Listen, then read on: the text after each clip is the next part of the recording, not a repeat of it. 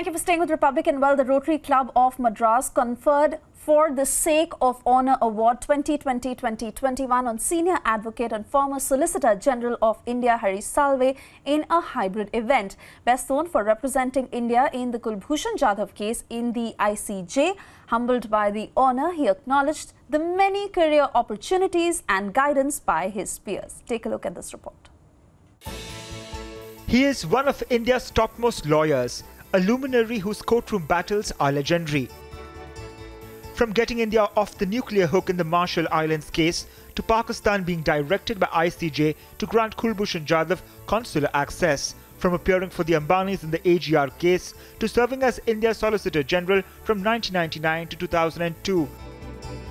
Recognizing his contribution in the field of law spanning for over four decades, Senior Advocate Harish Salve was conferred the Rotary Club of Madras's highest award for the Sake of Honor Award 2020-2021 yesterday. His goddaughter received the award on his behalf. The hybrid event saw his peers, former Solicitor General K. Parasaran and his son, former Solicitor General and Senior Advocate Mohan Parasaran paying tribute to him virtually. And I distinctly remember the day when Mr. Salve came home to greet my father on his elevation as the Attorney General of India in 1983. And I remember also distinctly what my father told Mr. Harish. He said, Harish, you will also reach the topmost positions in this profession and you will hold the highest of offices and be even more successful than me. Bestowing his blessings online, K. Parasaran recognized Salve's contribution in the field of law. Harish has the wonderful capacity of articulation. His arguments are so absorbing and he will engage everyone to see that he follows his arguments in court. Humbled by the award, Harish Salve believes to be blessed by numerous opportunities. We also acknowledge that the difference between a hardworking lawyer and a successful hardworking lawyer is opportunity. And his most important piece of advice being I can never remember Parasaran Saab once told me, Harish, I can see you're going to be very successful. Never charge a fee which will put you under pressure of performance.